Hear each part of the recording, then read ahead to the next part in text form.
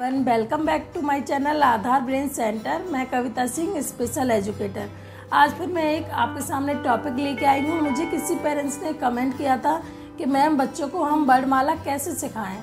तो मैं आप सभी को बताऊँगी कि हमें स्टार्टिंग में बच्चों को वर्णमाला कैसे सिखाना होता है। बच्चा कैसे सीखते हैं? एक तो होता है कि बच्चा एक बार रट लेता है, जो हमें बच्चों को रटाना बिल्कुल भी नहीं है। और बच्चे को हमें इस तरीके से सिखाना है कि बच्चों को समझ में आए। हम कहीं से भी वर्णमाला का अक्षर उठा के दिखाएँ तो बच्चे को बहुत आराम से वो समझ में आ जाए बच्चा आराम से पहचान जाए।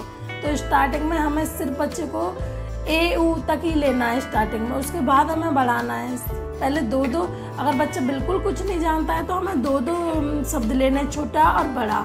वो अगर क्लियर हो जाता है तो हमें उसके बाद छोटी, बड़ी। फिर हम चारों को एक साथ रखेंगे, फिर उससे पूछेंगे कि हमें छोटा उठा के दो, छोटी ही उठा के दो। इस तरीके से कराना है तो मैं आज आप सभी को बताऊँगी कि हमें वर्णमाला बच्चे को कैसे सिखाना है। हमें वर्णमाला सिखाने के लिए सबसे पहले फ्लैश कार्ड का यूज़ करना है, जो मैंने पहले भी काफ़ी वीडियो में बता चुकी हूँ कि हमें फ्लैश कार्ड का ही यूज़ करना है वर्णमाला सिखाएँगे तो। तो मैंने फ्लैश कार्ड लिए हुए सबसे पहले हमें बच्चे को पिक्चर समझ दिखाना है कि पिक्चर को देखेगा बच्चा तो समझेगा ये आ आ इधर देखो, आ, अनार। आ, इधर देखो, आ, अनार। उसके बाद सेकंड आ आ, आम। आम। ई, इमली। इमली।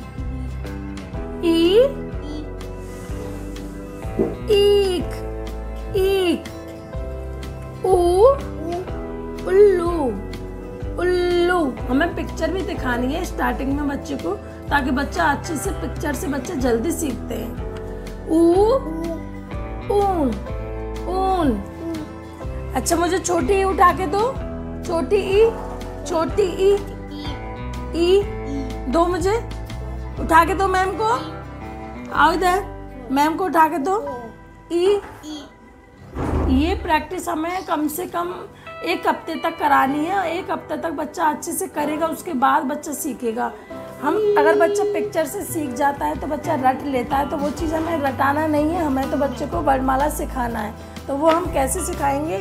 बच्चा अगर रट बच्चे को अच्छे से आ जाता है पिक्चर से तो फिर हमें उसके बाद पिक्चर बिल्कुल भी नहीं दिखानी है ओनली जो ये वर्णमाला का अक्षर सिखाना है बच्चे को, ये क्या आ आ।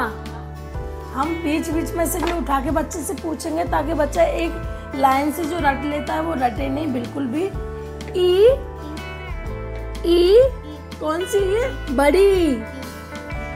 उसके बाद ऊ ऊ कौन सा ऊ है? छोटा ऊ। ओनली हमें सिर्फ़ और सिर्फ़ हमें बच्चे को अक्षर ही दिखाना है, ना कि पिक्चर दिखाने।